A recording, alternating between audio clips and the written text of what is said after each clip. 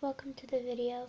Today I'm going to be showing you how to make these mini school books and they're actually functional. You can see there's some paper inside them. You can actually write in them. They're pretty cool. So I'm going to be showing you step by step how to make these today. Let's get started. First you're going to need a piece of cardboard. So what you're going to do is you're going to cut the piece of cardboard to the size of the book that you'd like. So I'm just going to cut mine like this. And then I'm going to trim mine so that it has straight edges and is a little bit smaller. Once you're done that, with that, you're going to go ahead and fold it in half.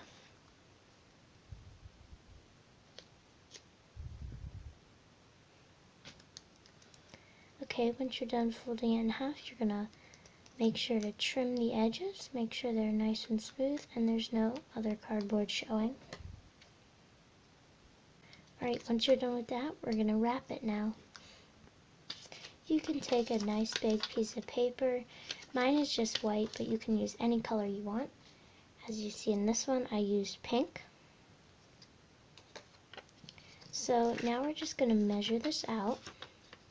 Make sure it fits pretty nicely with some left over on all the edges. Then we're going to take a glue stick and we're going to glue the edges to the piece of cardboard.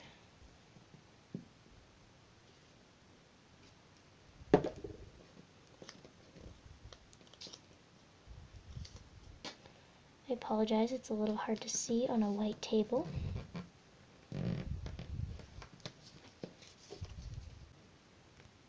Once you're done with that, it should look like this. And then you're going to take a smaller piece of paper, size it and cut it to fit the front of your book. Then you're just going to glue it to the front of your book, just like that. Once you're finished, it should look like this. Now we're going to make the paper on the inside. First things first, you're going to take a long, wide strip of paper. Measure your book and trim it to fit.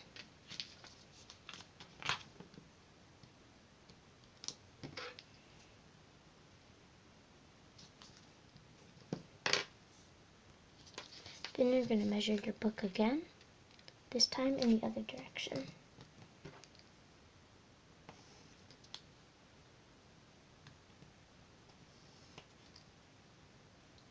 Once you're done with measuring it out, you can go ahead and fold it like you would with a fan. Fold it one way, flip it over, fold it the other way, flip it over, fold it the other way. Try to stay on the lines the best you can. Once you're done folding it up, select one side and staple it.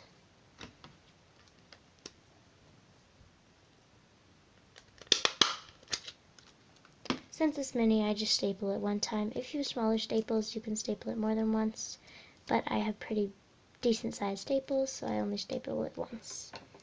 Now I'm going to trim the edges to make it look nice and smooth, and make sure you can turn the pages.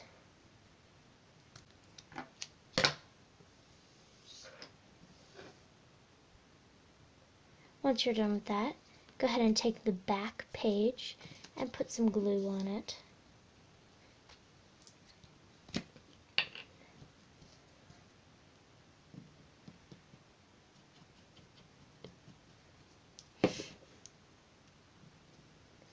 Take your back page and make sure on the back cover of your book, glue it down.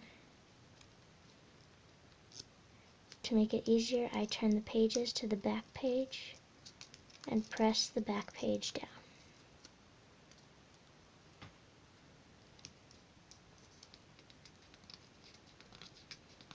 That way it's white on both sides.